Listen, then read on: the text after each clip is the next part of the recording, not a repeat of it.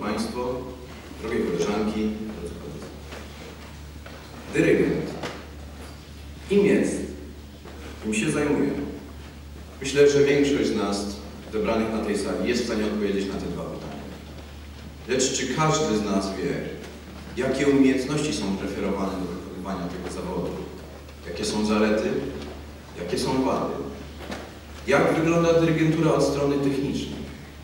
Jak to się dzieje, że dyrygent wykonuje jeden ruch, a około 50 osób wie co zrobić, ponadto w odpowiednim tempie? W dzisiejszym wystąpieniu postaram się przybliżyć, czym jest zawód dyrygenta i odpowiedzieć na te pytania postawione we wstępie. Dyrygent, Amburmajor, Kopernisz. Jest to osoba kierująca zespołami muzycznymi, takimi jak orkiestry symfoniczne, orkiestry smyczkowe, orkiestry dęte. Zespoły kameralne, chóry, zespoły wokalne, zespoły wokalno-instrumentalne, a także kierująca operami i spektak spektaklami muzycznymi. Ludzie często zapominają o tym, że zawód dyrygenta to nie tylko czysta przyjemność dyrygowania koncertów. Lecz do kompetencji należy również przygotowanie zespołu, wybór odpowiedniego repertuaru, dostosowanego do poziomu. Dbanie o atmosferę, tak aby każdy miał przyjemność z przebywania na próbie. I najważniejsza zasada. Partytura w głowie, a nie głowa w partyturze. Ponadto głównym zadaniem dyrygenta jest kreowanie muzyki.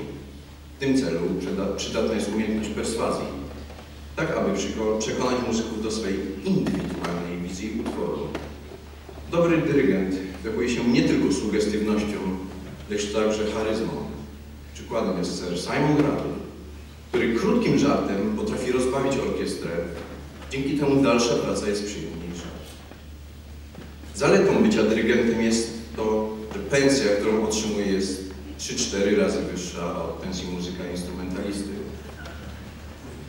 Ponadto nazwisko kapelmistrza pojawia się na plakatach, dzięki czemu jego, dzięki czemu jego popularność wzrasta.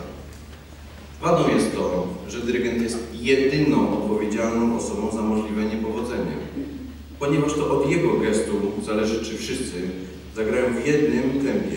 Jeżeli jego gest będzie nieczytelny chociażby dla jednej osoby, to cały utwór, mówiąc kolokwialnie, może się wysypać. Jeżeli już jesteśmy przy gestach, najważniejszy jest w angielsku upbeat, czyli odbicie. Pokazuje tempo, w jakim dany utwór lub dana część jest wykonywana. Trudność w całym dyrygowaniu to odłączenie lewej ręki od prawej.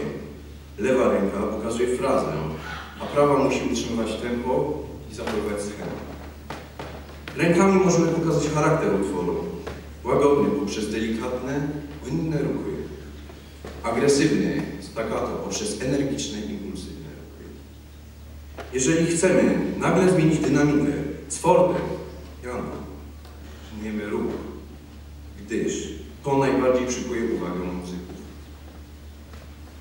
W związku z tym nasuwa się pytanie, czy każdy z Was siedzących tutaj byłby w stanie odnaleźć się w tym zawodzie? Dziękuję.